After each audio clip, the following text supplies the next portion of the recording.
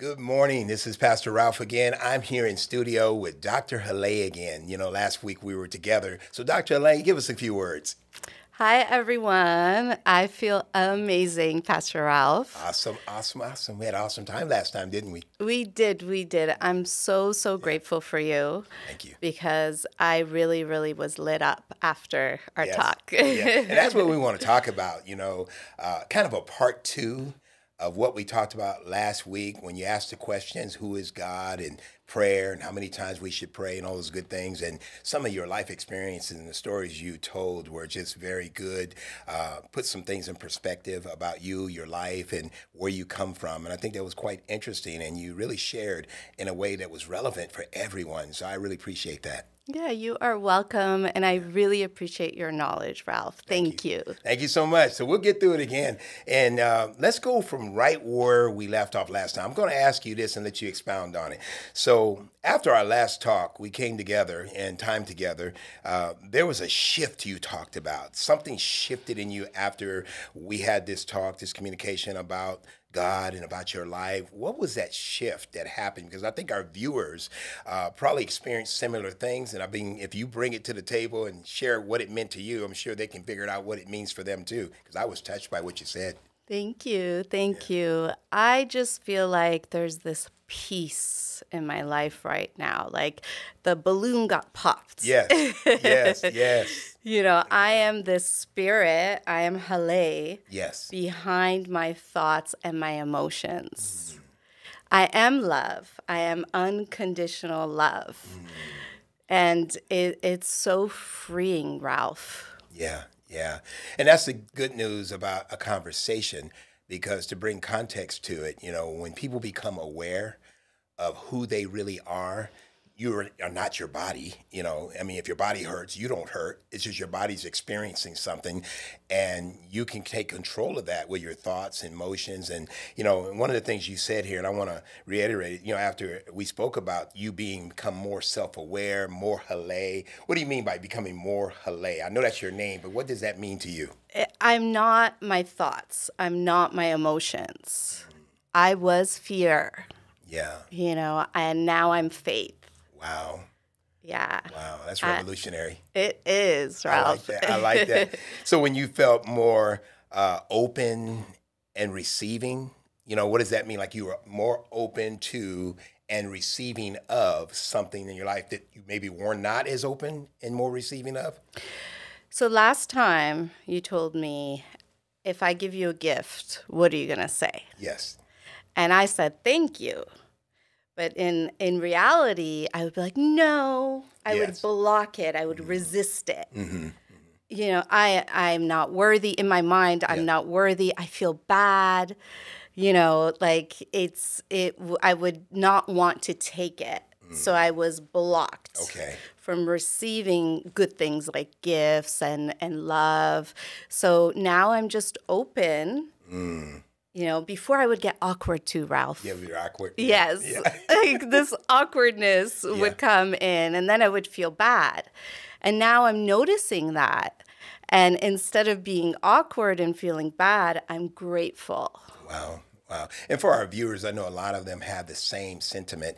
You know, I grew up uh, in an unworthy kind of mindset. I never thought I was enough, never thought I was good enough. And so when somebody tried to do something for me, even though I needed it, I would always say no because there was these attachments that I felt like if they give it to me, then I'm going to owe them something, or I'm going to have to do something to make myself feel worthy of what they've done. So it's better not to take it. And yeah. really, I was shooting myself in the foot when I did that. And so I'm thankful that you brought that out because I think a lot of people experience that. People don't know how to receive. They don't know how to be open. It's a fear of being vulnerable right? Yes. So what why why did why did you do that? Why did you think you were blocking it all? What was some of the reasons why? I think just growing up, you know, in our culture, we're always giving, give, uh, give, yeah. give, give, give. And mm. just in my mindset, I felt bad. Oh, that person needs to do something, or they spent the money on the gift, exactly. or, you know, it, it's just me feeling bad for the other person. Yes, yes. But guess what, Ralph? that person actually feels like 10 times better giving to yeah. you yeah. than receiving. Yes. Yes. And that was really powerful for me to learn. That's powerful. You know what Jesus said It's funny you said it that way. Jesus said it's more blessed to give than it is to receive. But it doesn't mean you can't receive, but it's the giving that opens the door for receiving. And so it's a kind of a cycle that if I'm going to give you something and you receive it, then I'm fulfilled and you're fulfilled. But if I give you something and you reject it, then that's going to make me feel rejected. And so it's interesting how God gives and we receive and then we can give and then they receive people in our lives. So that's powerful. Well, that's good. Here's another thing. Then you said you felt you know, we talked about God being spirit. We talked about God being love and God being light. And after that shift, you talked about being more grateful. You know, when, it, when you talk about being grateful, put some context to that. What, is, what does it mean to you that you were more grateful? Because I've known you as a grateful person. You seem pretty grateful to me, but now you're more grateful. What yes. does it look like? Yeah, it for me, it's it's peace. Yeah, it's receiving, it's being thankful. But before I was too thankful. Yeah. you know, oh, thank you, thank you, thank you, thank you. That's energy. That's yeah. words, yeah. right? Yeah, it's a lot of work. You say it once and that's it. Yeah. Yeah, overkill. Yeah. yeah. we can overthink, we can overthink, we can overdo, we can do all that stuff, and I think that comes from also still still feeling a sense of emptiness. Sometimes, like we have to fill the room. I, I tell a lot of people, if you're in a place and you don't have anything to say, it's okay to be quiet. You don't yeah. always have to be talking. You can be quiet. There's a stillness and there's a godlike emotion that comes up on the inside that brings satisfaction, that brings comfort, and it also brings peace. And I think the world is in desperate need today of peace. There's so much yes. chaos going on in, what you're sharing here. Here's another thought that you had. And I just want to go down the list here and just kind of go over these things you were talking about the shift now. These yes. are the things that shifted in you after we had that discussion. And so you felt more faith leading to action. Yes. Yeah. What does yes. that look like? My intentions are are more powerful mm. with that faith. Yes. And that leads me to take more action. Yes, yes. and I'm that. just go, go, go, go, go. Yeah. So what were you like before? When you said more faith leading you more action, what were you like before? In my head. In your head. Yes. so, so in your head, it's like, yeah. in other words, you're having these conversations, these battles, and probably blocking a lot of the things you really wanted to do. Yeah. Because we, you, you talked one time about assigning uh, certain behaviors or, or intentions or an outcome to something that really is never is really. Sometimes we say, oh, this is that. We assign this to it or we assign that to it. And maybe it's not that at all. Like if somebody's angry, well, they're angry because we don't really know why people are angry. But if we assign how we feel to every situation without really taking a pause and really looking at what it really is, we're probably going down the road and not to no good end in, as far as I'm concerned. So I think people self fulfill their doubts, their fears, they, they make it worse by overthinking and then living in the past. Everything they say today is about the past. What about the present and the future going forward? Yeah, yeah, it's a huge piece. Nobody teaches you how to get out of the past. Yes. You know, everybody has some sort of trauma in their past. Yes. And, um, you know, like for me, silence was awkwardness. Oh, okay. You know, and now silence is peace. Yeah, it's, it's peace. faith. Yeah, yeah, yeah, yeah. I feel the same way. I, I was kind of a introverted kid, kind of an introverted man a little bit, but I'm an introvert only in myself, being around myself. But when I get around people, there's this thing that just comes out of me. It's like the presence of God comes forth, and I reach out to people, and I feel people. I feel the love. I have compassion for them, and I know we talked about that last week. You just want people to learn to love themselves, and and I found that in ways to we have to learn to love ourselves. We have to know our God, and when we get to know God, you know God is love. You yes. start to say, "Wow, God is love." Then I'm love because I want to be like God. So if you just start from that vantage point that I'm a loving person, I am love, I am abundance, I'm in these things that I want, yes. then you're not needing them anymore because you're saying I am these things. And that's we talk a bit about the law of attraction, which I say is the law of sowing and reaping. Yes. It's similar. It yes. does bring it to pass. So that, that's a powerful piece. And uh, what about peace for you? When you talk about you're more peaceful, you know, I know we experience peace, but now you're more peaceful. I can't imagine you being any more peaceful than you are, but you're more peaceful because of the shift. You're more peaceful because you're intentional and you're more Haleh now than you've ever been. Yes. Yes, yes. That's an awesome thing. So when you talk about peace, what does your day look like now that you're more peaceful? No matter what happens, anything comes up, any situation come up, you're kind of like even this morning, something comes up and you're like, oh my goodness, your real life experiences, you know, yeah. you can make a decision to choose to follow through with some intention you made yeah. or you can be okay with not following through and nobody's going to judge you right or wrong but if you don't follow through what's going to be the outcome? I feel bad. I'll have anxiety if i don't follow through. Like today i last night i didn't sleep for two hours. Oh my goodness. You know i mean i didn't sleep more than two hours. Yes. And i messaged you this morning. I said ralph i can't make it today then half an hour before, yeah. you know, I had to leave, I was like, oh no. I love doing this show and I love helping people. And that powerful intention and faith made me take action. Wow. Yes. Wow. And you followed through. So now the outcome is that you finished something that you intended to do. So your intention is complete. And now you get on with the rest of your day and it may have been something very serious. I mean, I, I, don't, I don't try to belittle people when they feel things. I try to go with them. But whatever you choose to do, I stand with you. If you would have chose not to come, then I would just make the changes I needed to make. But then you chose to come, and I said, "The champion is here. She arose to the occasion." Yes. so you were here. So that, that's really good. And I think for our audience, you know, a lot of things that when you make an intention, an intention to do something, if you do that, know that it's going to get challenged Life is going to challenge everything you yes. decide to do because it's your decision. Now, life will make sure you really want that decision. You know, a lot of people say, well, the universe is doing it or God is doing it or whatever they think it is. But my point is, when I make a decision, that's when I get the combat. That's when I, oh man, am I going to finish this thing? Am I going to bring it to completion? And I think it's a good thing that if we just press in, if you can, and don't feel bad that if you can't, because, yeah. you know, you're doing the best you can with what you have and if you're drawing from the past, it's kind of hard to go forward. I noticed that for myself, and everything that I know, everything I've experienced is in the past, and that's why I'm looking for new experiences so that I have yes. as much in front of me as I had behind me, so that I can have something else to draw from than what my experience was there. Because most of my experiences weren't that good in the past. No. see, so I don't want to draw from all of that. It's kind of a mucky past. But if I go forward, there's where the possibilities, the hope, the faith, and all the activity that I want. That's the party in the future. So that's what I want to do. Yes. But thank you. Thank you for that. Yeah. Here's another thing. I want to talk to you about how you felt the energy of love. You know, love, you have more energy to love and to be loved. You know, what does that look like in your practice every day around your family, you know, in your everyday life? It, it's self love, number one, okay. setting boundaries with people, okay. saying no when you're saying no to yourself, right? Um, I used to help everybody and and and forget about me. Okay, that makes sense. Right. So do your exercises, eat the right foods, have the right thoughts. The love part, the unconditional love that you said that we are and God is. Yes.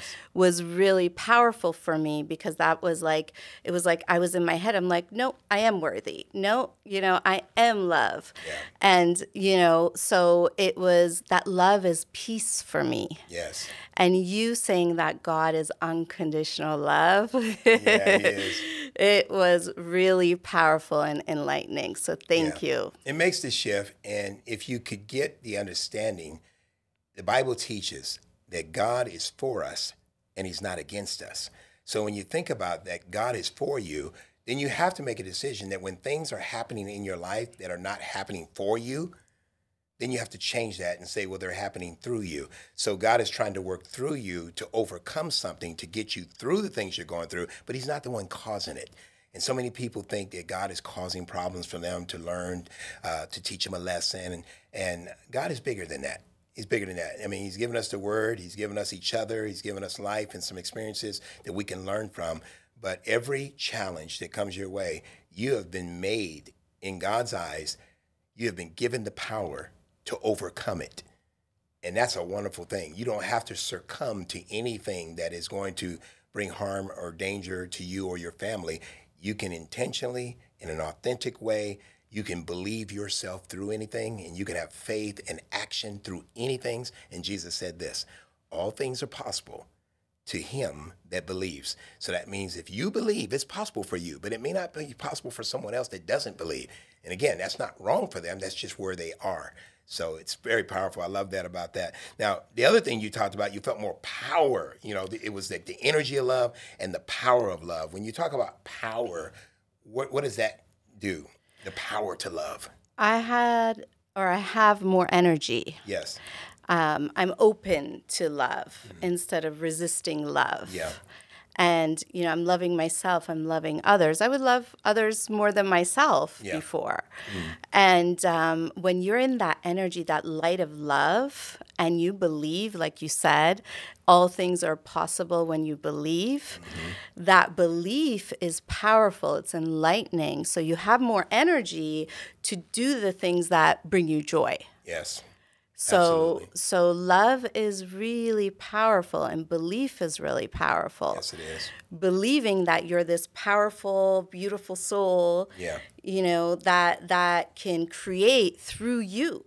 Mm-hmm. Through your authentic self instead of like through, oh, should I do this or should I do that? All these should, should, should, shoulds deplete your energy. Yes. And you're not taking action. Absolutely. Yeah. And I, and I relate that to a person's essence you know who you are your essence your being you know and i found that in life you know then i start talking to you about you know more about self and things that way yeah i didn't know my ways of being I didn't understand it. Let's put it that way. I didn't understand my ways of being when I got angry.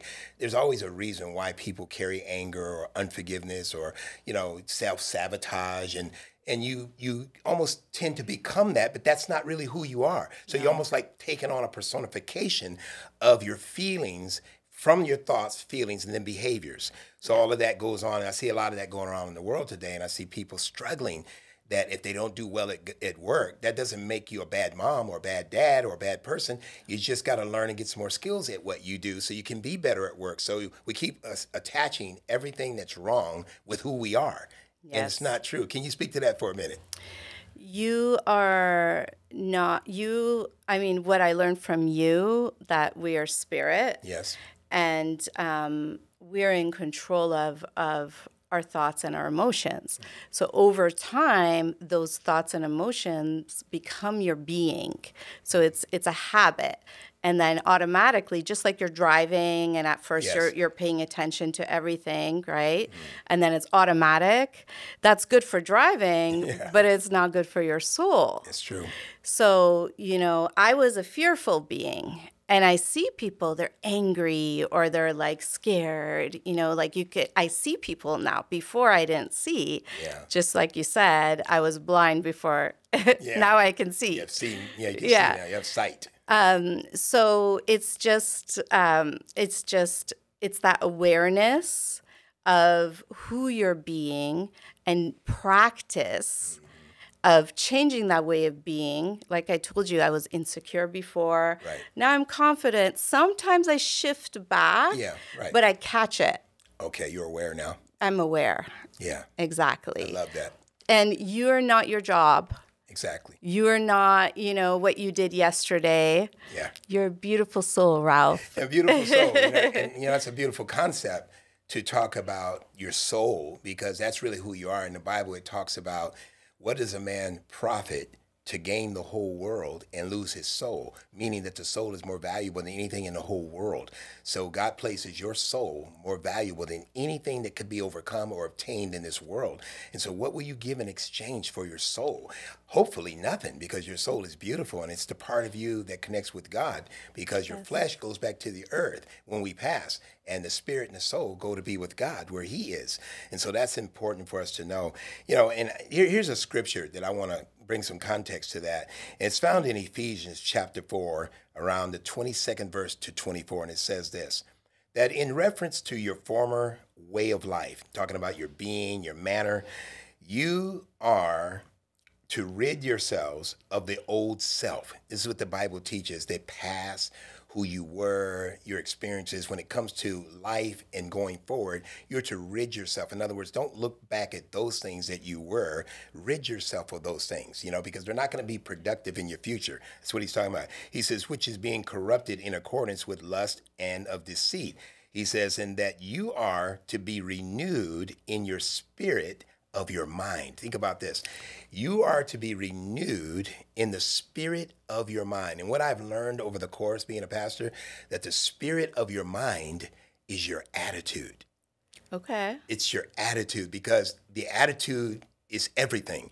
If you approach something with a bad attitude, the lens of looking through things with a bad attitude is going to see everything bad. But if I approach with a good attitude, I'm not going to see any bad. I'm only going to see what my attitude projects that I see. And yes. we've learned in sales, when I was in sales a lot, your attitude uh, promotes a better altitude. So the more attitude I have towards what I believe, what I want, what I'm after, it gives me a higher view to look at the land in a different way where I can see more and therefore I have more possibilities, more intentions, and all of that. So, this is what God is even saying. He said, Be renewed in the spirit of your mind. Then he says this, and you'll like this one. He says, And put on the new self, which is in the likeness of God and has been created in righteousness and holiness and truth. So, God has giving you an opportunity to be very different than when you were born. He's asking you to go to the next level that He's created for you. He wants you to be, in these three words that He says, holiness and truth. And when we talk about holiness, we're not talking about a do gooder person or a perfect person. We're talking about a person who's set apart for the use of good things, for the use of right doing and living, uh, a person who's living truthfully, living authentically before people. And as a pastor, I always tell people, you know, I may be the pastor, but a pastor is just a person. Yes. And I'm functioning in a job that God has given me to reach you. That tells me that God loves you a lot because He created a space for me to be trained to reach out to you. So God had you in mind when He created me. Yes. Yeah, see, so that's some powerful stuff. Yes. So God wants us to know that. Put on a new self, which is putting on that new you, which when you start to say I am, the the I am expressions. When you say that, what does that mean for you when you start to say I am love and all that? How's that? I am is so powerful. Yeah. Uh, like I said before, instead of I want to be, I am worthy. I am love. Yes. You know, your words are powerful. Yes it's it's in the present that's who i'm being mm-hmm, mm-hmm. and um, it, the words words matter i know in the bible yeah. what does what does the bible say about the word a lot of words matter in fact in uh, matthew chapter 12 jesus made this statement that every word that we speak we shall give an account of hmm. now you think about that how many words have we spoken daily? He says, every word, and when I broke it down to break down the meaning of it, that means every word that you speak in a non productive way that doesn't have intention and meaning, he says, you shall give an account for it because he says the next verse is, by your words you shall be justified, and by your words you shall be condemned, meaning you'll be judged by your words. So you want to be careful. And in Proverbs 18 uh, 21, he says, death and life are in the power of the tongue and they that eat it, they that love it shall eat its fruit. So death and life are in the power of the tongue, and they that love that, the way you talk, shall eat the fruit of it. So when you see in your life things manifesting yes. and you don't like what's manifesting, you might want to change your words because your words are coming from your thoughts, right? So you're thinking about things and then you're saying it. So if death and life are in the power of the tongue, meaning that only life and death can come when you speak it, we need to be careful about how we speak. Yes. And there's so much more that God has said about your tongue and the words that you use. And in fact, I say it's the most powerful thing when I marry couples. I said, Do you know you guys can't even get married and have this thing confirmed unless you say, I do? Wow. If you don't say I do, I can't pronounce you husband and wife. Wow. I so didn't that's know that. how powerful I do or I will. That is an intention. I do and I will take this woman to be my lawfully wedded wife. Until you say that, all the power vested in me cannot pronounce you husband and wife. So it's important. Wow. Words are so important. They really are. Yes. They yes. really are. And becoming conscious of your word is really important. Very much. And, you know, most of us are not conscious because we're not aware. Yeah. And you're never, you know, you're working so much and doing everything in life, you, you don't have time to be aware. So I had to take a pause out and become aware. What am I doing every day? Why am I doing it? What's the purpose of this? Yes. Yeah, it's, it's important to know. You know, I always ask, often ask, you know, God, why am I a pastor? Why am I a teacher of your word? You know, why, why am I this or that? And I had to really sit down and think, why am I? My mom named me Ralph. I used to hate that name. I said, uh, Ralph, what kind of name is that? And kids used to tease me all the time. They go, Ralph, and like they were just chucking up something or something. You know, it's kind of gross, yeah. but whatever. And I used to be so upset. And one day I looked up my name and it set me free. My name means helper and counselor. Beautiful. That's what my name means. And I said, Ralph, yeah. Yeah. you know, because you, you, you, you assign that meaning that other people assigned to it. They made jokes about it. But then when I went and found out what my name really meant, and that's why you be careful about what you name your pets, what you name your children, you know, what you call people, because those names assign a lot of power and positivity or the reverse on you. So be careful. I tell people when you name a child, be careful. Yes. You name your puppy, be careful because you're calling people things. I, one lady, her name was Melanie, and it means dark child. wow. You know, I mean, it could be like attitude. So, you know, we just name people because we like the way it sounds. So it's so important. But I, I like that. And here's another thing that she said in realizing and becoming aware you are a beautiful soul. We, we talked about that a little bit. Your thoughts and your emotions are different now once you start to assign that you are a beautiful soul. It's really hard for people sometimes that are humble to say anything good about themselves because they think if I say it, then I'm being arrogant. But it's nothing wrong with saying that you're a beautiful soul because God made you beautiful. Thank you. See, the Bible says we're fearfully and wonderfully made. Beautiful. Wow, that's that's that's something Beautiful. very powerful. So when you start to be down on yourself or kick yourself to the curb, I want everybody out there, I want us to know that God says he has plans for us. And our plan the plans that he has for us are for our future and gives us a hope. And we were fearfully, wonderfully made, meaning that God took great pleasure in putting us together as the package that we are. And how dare us think differently of ourselves than what God intended for us? You want to talk about being intentional. God was very intentional when he made Haleh. There's mm. none like you. You're the only Haleh in the whole world. A beautiful soul. Thank you so much, Ralph. Amen. And I wanted to tell you a story about my name. Yes. So, growing up, I moved to Canada when I was five. They couldn't say Haleh, Okay. and it turned into hala. Okay. So, in the past two years, I've actually changed it to Haleh Okay. because that's who I am. Yes. And my name means halo. Oh, really? Halo. Oh, yeah, oh, wow. That's powerful. Yes. Halo. Okay. The yeah, the light of the moon. That's the light of the moon. And, and Yeah. halo also has to do with purity. It has to do with holiness. It has to do with God's purpose in your life. You know, halos have to do, when people think of an angel, they think of a halo over an angel. So it's kind of an, an anointing. If you know the word anointing means, Oh. it means that God has empowered you Wow. to be. You know, I'm anointed to be a pastor. You're anointed to be a doctor. You know, Yes. whatever your job is or the thing that you pick up as your life's work, you've been set apart for that. You've been made anointed to do that. And so God uses all of the faculty that He gives you and all of the strength and all the faith that you have in Him to do what He's called you to do.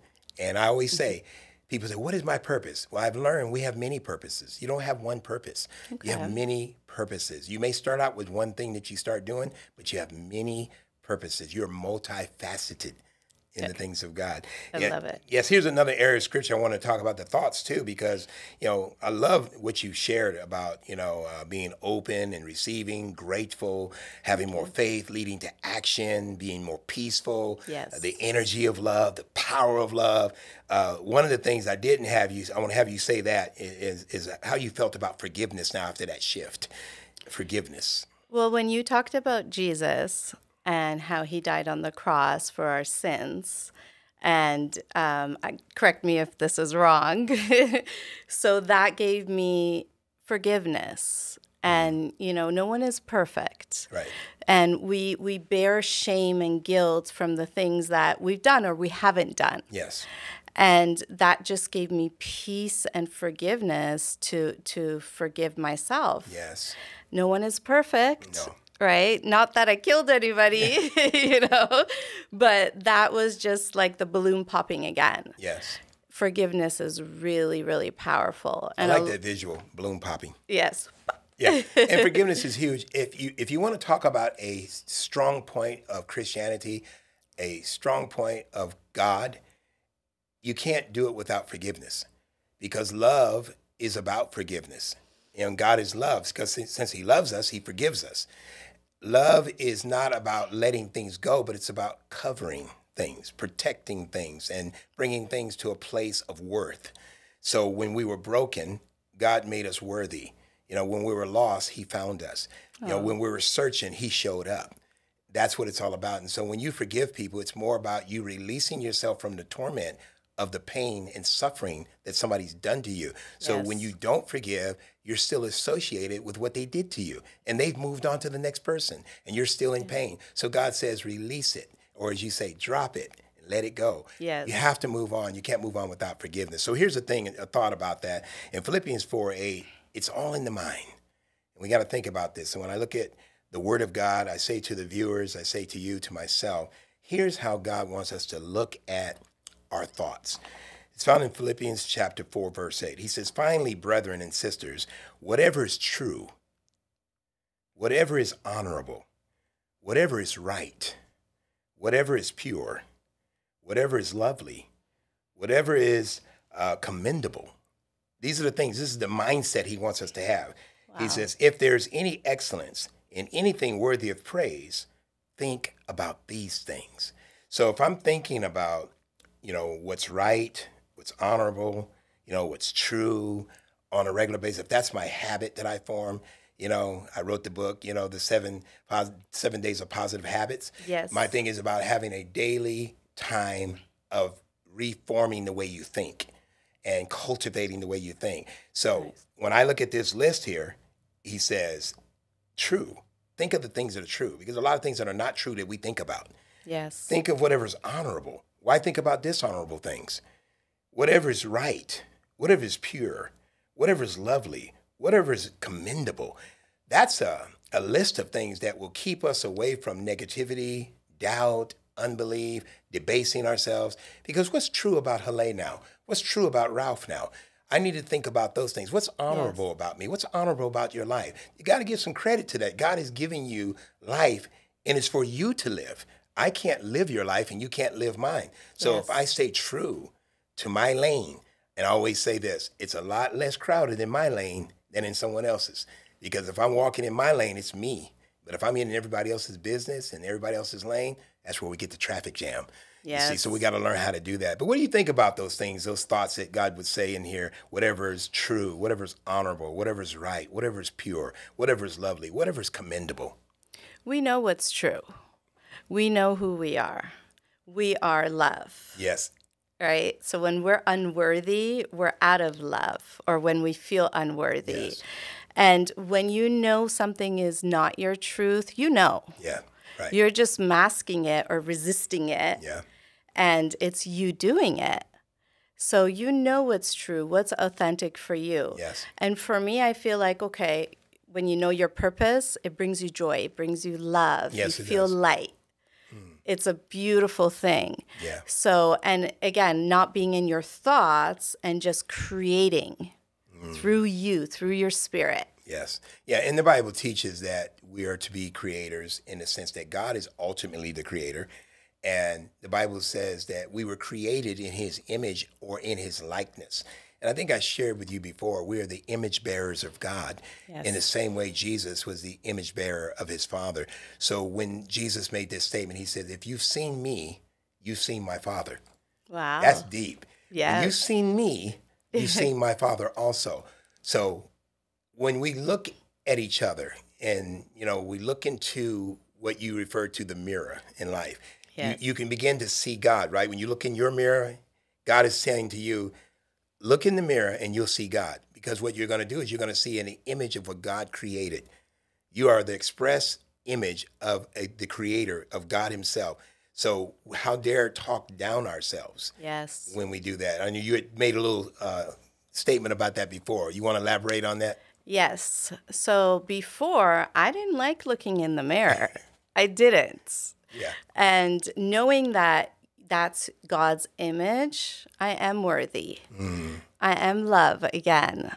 And I I I again I didn't like looking in the mirror. Yeah. yeah. So somebody told me, I think it was you, that you're looking at God. Yeah. Like that if you want to experience God, look in the mirror. Yeah.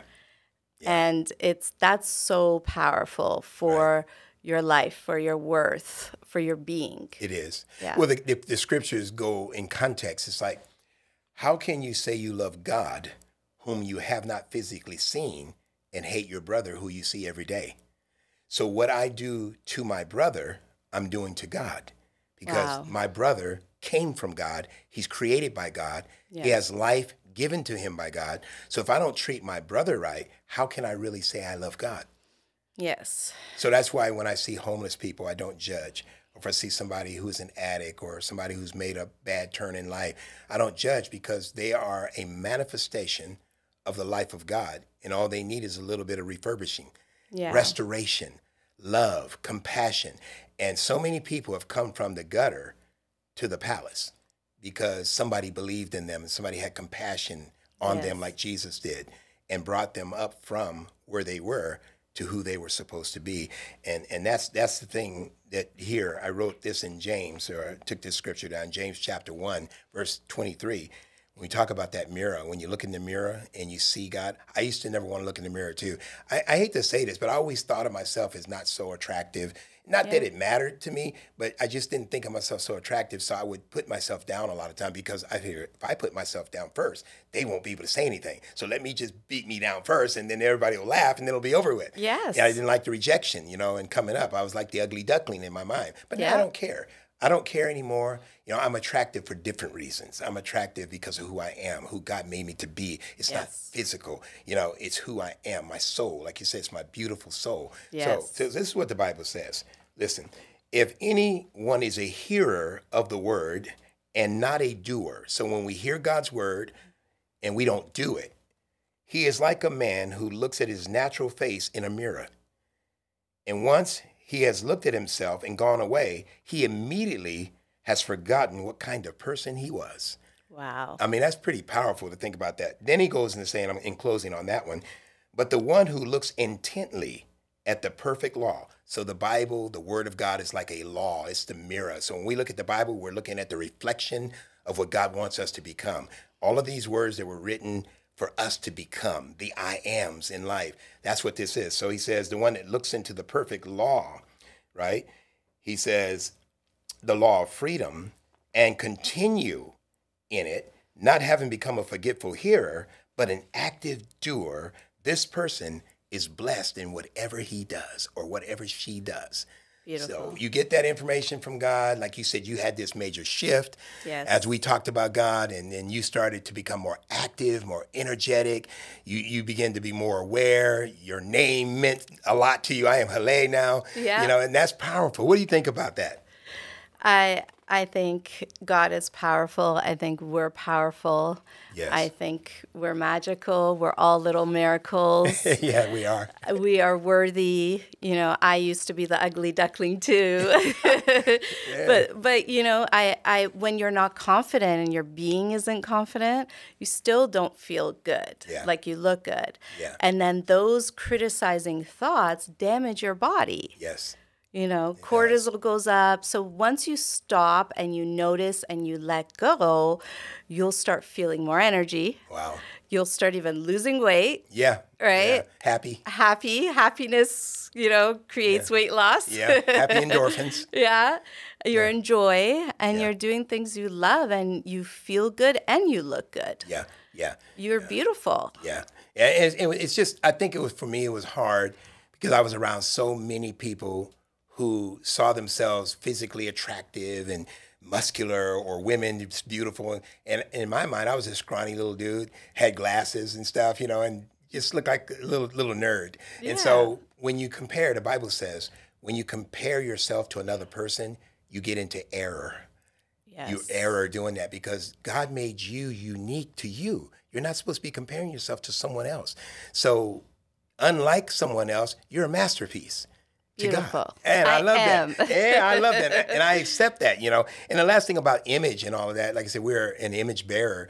Uh, I said to you that we're created in the image of God. And we're so far from that today because the lies of negativity, doubt, self sabotage, the world has made us feel a certain way. And we know when we start thought, our thoughts go a certain way, our feelings go a certain way, then our behaviors come a certain way, and then our habits just take form. Well, this is what God says in Genesis 1:26. This is his exact words. Then God said, "Let us make mankind in our image, according to our likeness, and let them rule over the fish of the sea, and over the birds of the sky, and over the livestock, and over all that is in the earth, and over every crawling thing that crawls upon the earth." So when we talk about the beginning, God's intention was that we become like him, that we're made in his image. In the same way God had rule, management, and dominion of the entire universe, he put man in the earth in the Garden of Eden. And he says, I want you to be like me in your space. As I am the Father who controls and sovereign over everything, I want you to be sovereign and in control of the things I place you in. And so in our life, we're held responsible before God to be productive, nice. to be useful uh, to to do something of worth and to show our purpose to the to the world at large. So you're doing that by what you do. You know, you're showing your purpose, and so that was a very powerful thing. What, what, do you think about that? You've been created in the image of God. That's beautiful. Yes, it's. I love it. Um, I really think we're all here to to guide each other and give love mm-hmm. and support. Um, and it, that's just it's beautiful thing yes. to know and it makes me feel more worthy too. Yeah it brings a shift for me too as you talked about last week. If i go remind myself you know i was created in the image of god and in his likeness. Again it's not to say that we're the same as god but you know my children are like me. They're not the same as me. And when you look at my children you can see me in them you know, and I see me and my children. Yes. Some of it good, some of it not so good, but it, but it's getting better. It's getting better. But yeah. it's just saying that um, we're not too far from the Creator, that He wanted us to be in His likeness, and so that means God is for us. He wants the best for us. He wants your life to be lived in such a way. And so I just wrote this down as we're concluding. Uh, we talked about a lot of things, and I could talk all day, yes. but we'll, we'll, meet again. We'll revisit again. But this, in, in conclusion. You know, the more you learn about God, you begin to understand yourself because we are connected to the Creator in more ways than we can fathom. Beautiful and amen. Amen, amen, amen. Dr. Haleh, as always, I want to thank you for stopping by and uh, having these conversations. They're very necessary conversations uh, for us and for the viewers. And I really believe that people are getting a lot out of it. The last time we talked, they really loved it. And I, I encourage our viewers to continue to stay with us and uh, to write in the chat and let us know what your thoughts are, your feelings. Please give us your opinions. I want to know what you think about what we discussed. There's no good or bad answer, no right or wrong answer. I mean, I would say feedback is a gift. And I appreciate you stopping by and joining with us. And Dr. Haleh, thank you again for being with us. What a wonderful day that I have started, and I'm going to finish it strong. And Thank you, Ralph. You are amazing. Thank, Thank you for you. all your teachings. Amen. You're welcome. Amen. You're welcome. Bye you. for now. Bye.